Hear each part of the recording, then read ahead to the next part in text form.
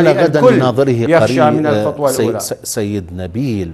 يعني هل تعتقد أن الإطار التنسيقي أخذ هذه التغريدة بمحمل التهديد الضمني الغير مباشر؟ بمعنى آخر للسؤال هل السيد الصدر يشكل تهديدا رغم انسحابه من البرلمان هل يشكل تهديدا خطيرا للإطار؟ هل يشعر الإطار بهذا التهديد حتى هذه اللحظة باعتقادك؟ بالتأكيد أستاذ أحمد حضرتك تعرف وأنت ملم بالعملية السياسية أنا دا أسألك حتى توضح للمشاهد السيد نبيل يعني بغض النظر عما أعرفه. أعرفه عفوا.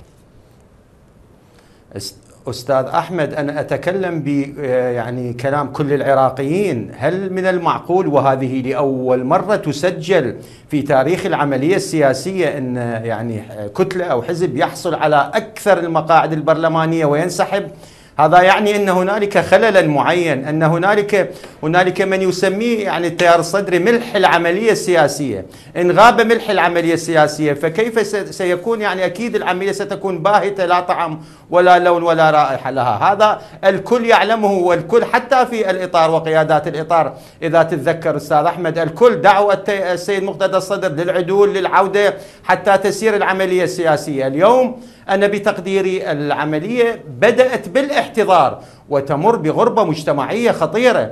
اليوم نتكلم بصراحة هو مش قد شاركوا بالعملية. أقل من 30% اليوم 70% هذه الفئة التي تشكل هي الثقل الأخطر والسواد الأعظم.